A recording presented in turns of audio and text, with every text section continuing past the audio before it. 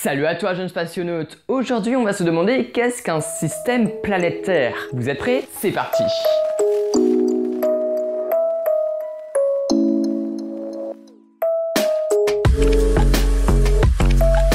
Un système planétaire est composé de divers astres comme des lunes, des comètes, des planètes, des planètes naines et d'autres objets célestes qui gravitent tous autour d'une même étoile située au centre du système planétaire. Beaucoup de personnes parlent d'un système planétaire en évoquant le terme système solaire. Non, le système solaire est le système planétaire où nous sommes avec le Soleil. Il ne faut pas confondre les deux termes. Le système solaire est un système planétaire. Mais un système planétaire n'est pas un système solaire. Bon, bref, commençons maintenant par parler de notre système planétaire qui est le système solaire, comme je vous l'ai dit précédemment. Il est constitué de 8 planètes qui sont Mercure, Vénus, Terre, Mars, Jupiter, Saturne, Uranus, Neptune. Et de 5 planètes naines qui sont Cérès, Oméa, Makemake, Eris et Pluton. Il y a aussi bien évidemment les satellites naturels des planètes, mais cela serait trop long de tous les citer.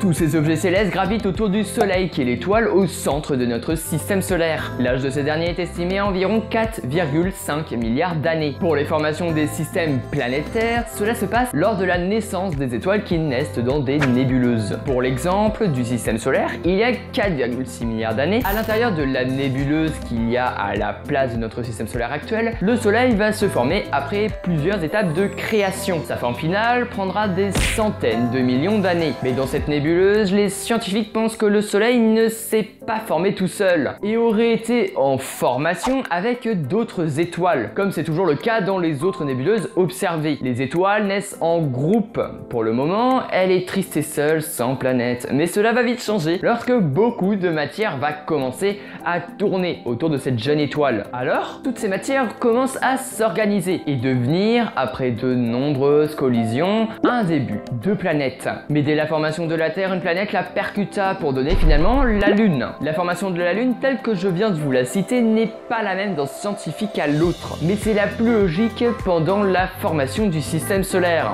Parlons maintenant des autres systèmes planétaires et comment les découvrir? Pour détecter les nouveaux systèmes planétaires, il faut découvrir les exoplanètes qui orbitent autour d'une étoile. Bon, pour détecter une exoplanète, une vidéo est dédiée où je vous explique les différentes méthodes pour découvrir de nouvelles planètes extrasolaires. Lien dans le petit i en haut à droite si la vidéo est sortie à l'heure où je vous parle. Bref, en tout cas, le 23 février 2017, on avait découvert 2688 systèmes planétaires. Ce nombre peut changer évidemment à l'heure où vous regardez cette vidéo. Et voilà, c'est déjà terminé pour cette minute astronomie. Si vous a plu, je vous conseille vraiment de vous abonner. Vous pouvez aussi mettre un pouce bleu, mettre un commentaire. Bref, c'était la ref. On se retrouve à la prochaine. A plus.